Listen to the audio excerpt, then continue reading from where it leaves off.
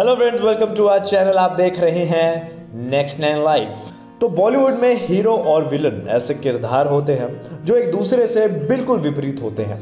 आज के दौर में ज़्यादातर विलन्स बेहद हैंडसम दिखते हैं, जिन्हें देखकर पहली बार में अंदाज़ा लगाना मुश्किल होता है कि ये एक्चुअली में विलन है।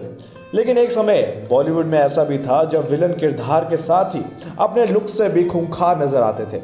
ऐसे ये कलाकार थे जिनका नाम था के एन सिंह जो अपनी डरावनी आँखों के लिए पहचाने जाते थे। तो हिंदी सिनेमा के जाने माने अभिनेता कृष्ण निरंजन सिंह, जिन्हें लोग के एन सिंह के नाम से भी जानते हैं। के एन सिंह ने ज़्यादातर फ़िल्मों में विलन का किरदार निभाया। के एन सिंह का जन्म 1 सितंबर 1908 को देहरादून में हुआ था। उन्होंने अपने अभिनय की शुरुआत नायक के रूप में की थी। उनकी पहली फ़िल्म सुनहरा संसार थी, जो 1936 में रिलीज़ हुई। इस फ़िल्म में उन्होंने एक डॉक्टर की छोटी सी भूमिका निभाई थी। के सिंह ने भूमिका भले ही हमेशा विलन की निभाई हो, लेकिन उनकी सोच किसी हीरो से कम नहीं थी। वे अपने ज़माने के बेहतरीन अभिनेताओं में से एक थे, लेकिन वो अगली पीढ़ी को बढ़ावा देना भी जानते थे।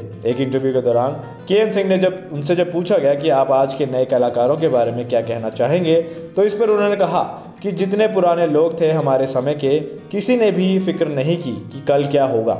जो बच्चे आज आए हैं, सत्तर के बाद वो बहुत समझदार होंगे। उन्होंने अपनी आगामी दो पीढ़ियों का भी इंतज़ाम कर लिया है। वे बात ऐसी करते थे कि उनकी बातें वाकई काबिल तारीफ़ थी। वहीं इस इंटरव्यू के दौरान उन्होंने अपने खास दोस्तों, पृथ्वीराज और सहगल साहब से जुड़े एक किस्से को भी याद किया, जिसके ज़रिए उन्होंने बताया कि सहगल साहब की फ़ैन फॉलोइंग कितनी ज़्यादा थी। उन्होंने बताया कि मेरे यहाँ अक्सर लोग आया करते थे। एक रात काफ़ी लोग मेरे यहाँ रूम में थे, करीब दो बज रहे थे और सहगल साहब कोई गाना गुनगुना रहे थे। कमरे में सिगरेट का धुआँ बहुत ज़्यादा हो गया था, जिस वजह से मैंने उठकर पर्दे खोले। जैसे ही मैंने पर्दे खोले तो देखा कि वहाँ बहुत लोग जमा हो गए हैं, केवल सहगल की आवाज़ सुनने के लिए। दोस्तों, आपको बता दूँ कि के एन सिंह ने अपने करियर में करीब 200 से ज़्यादा फ़िल्में की हैं। ये एक ऐसे विलन रहे हैं जिन्होंने अपनी आँखों से ही लोगों के जहन में खौफ भर दिया? वो अपनी आवाज़, अपने स्टाइल और अपनी आँखों की वजह से मशहूर थे। उन्होंने बागवान, सिकंदर, हावड़ा ब्रिज और तमाम फ़िल्मों में काम किया। के एन सिंह का निधन 31 जनवरी 2000 को मुंबई में हुआ। अपने अंतिम समय में उन्होंने अपने दोस्तों को और करीबियों को खूब याद किया, लेकिन उनके अंतिम समय में उनके पास कोई भी नहीं था।